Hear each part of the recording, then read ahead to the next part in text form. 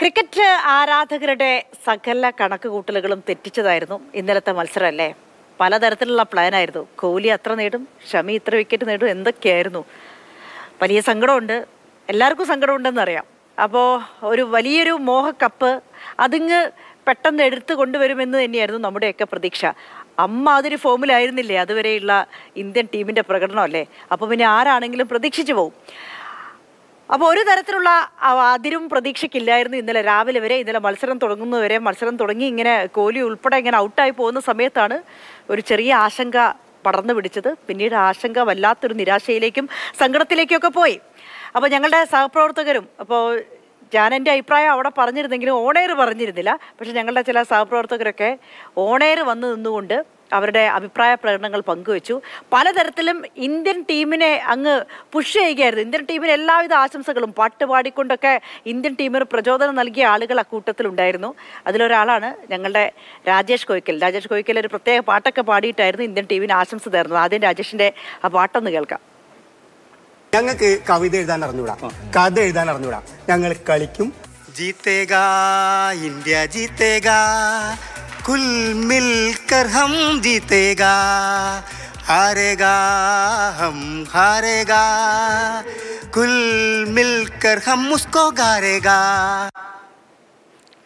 രാജേഷ് കോയ്ക്കലാണ് രാജേഷ് കോയ്ക്കലിന്റെ പാട്ടാണ്. അത് രണ്ട് സന്ദർഭത്തിലുള്ളതാണ്. ഒന്ന് നേരത്തെ പറഞ്ഞത് ഈ ഫുട്ബോൾ ലോകകപ്പിന്റെ സമയത്ത് മറ്റൊന്ന് ക്രിക്കറ്റ് ലോകകപ്പിന്റെ സമയത്ത്.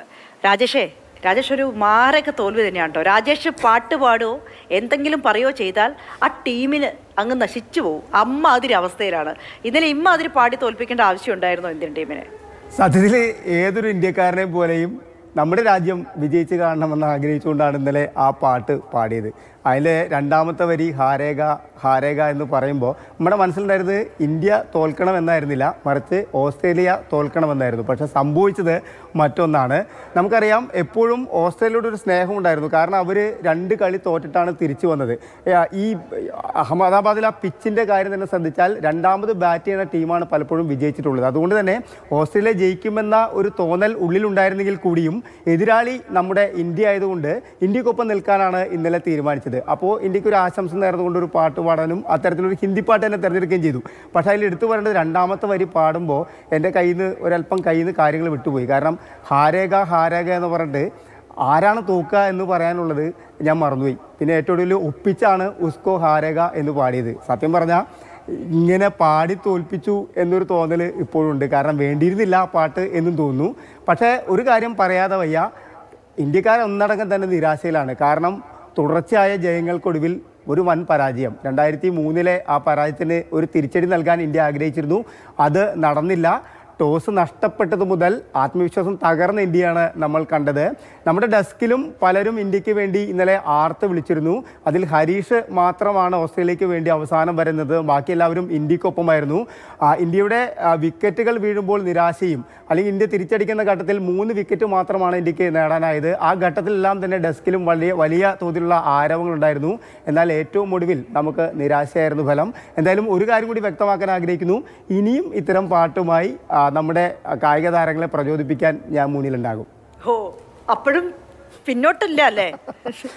ഓക്കെ രാജേഷ്. എന്തായാലും രാജേഷ് നല്ലൊരു പാട്ടെഴുത്തുകാരൻ കൂടിയാണ്. അപ്പോൾ അതുകൊണ്ട് ഞാൻ നേരത്തെ തമാശയായിട്ട് പറഞ്ഞതാണ്. അപ്പോൾ രാജേഷ് പറഞ്ഞ പോലെ തന്നെ നമ്മളൊക്കെ തന്നെ ഇന്ത്യൻ ടീമിന് വിജയാശംസകൾ നേരിക്കുകയും ഇന്ത്യ ജയിച്ചു കയറണമെന്നും ആ കപ്പ് ഉയർത്തണം എന്നൊക്കെ ആഗ്രഹിച്ചവരാണ്. എന്താ അത് സംഭവിച്ചില്ല. അപ്പം അതുകൊണ്ട് തമാശയായിട്ട് പറഞ്ഞ കേട്ടോ രാജേഷേ. രാജേഷിന് ഒരിക്കലും ആ പാട്ട് എഴുതാനുള്ള ആ വർദ്ധിത വീരം ഒരിക്കലും ഒരിക്കലും നശിപ്പിക്കരുത്.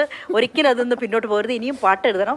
പക്ഷേ ആ പാട്ട് ഇങ്ങനെ മത്സരമൊക്കെ വരുന്ന സമയത്ത് ഓണർ കൊടുക്കണമെന്നുള്ളത് ബാക്കി പിന്നെ തീരുമാനിക്കാം. ശരി.